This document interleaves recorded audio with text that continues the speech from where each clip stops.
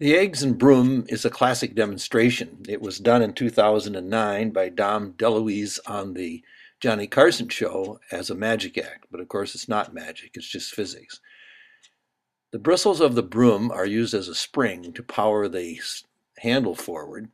The handle slams into the board. The board drags the bottom of the cylinders along with it, they tip over, the eggs are released to gravity, and gravity pulls them straight down into their aligned and assigned beakers.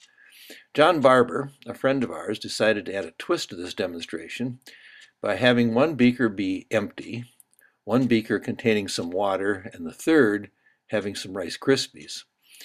The egg that falls into the empty beaker experiences a violent collision, a large deacceleration, and large forces which break it open. The egg that falls into the water does a bit better because the water slows it down, but it still makes contact with the bottom of the beaker, still undergoes a large negative acceleration, and is cracked.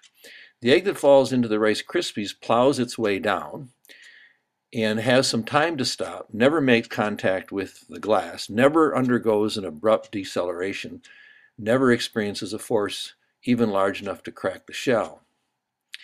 These are three interesting collisions.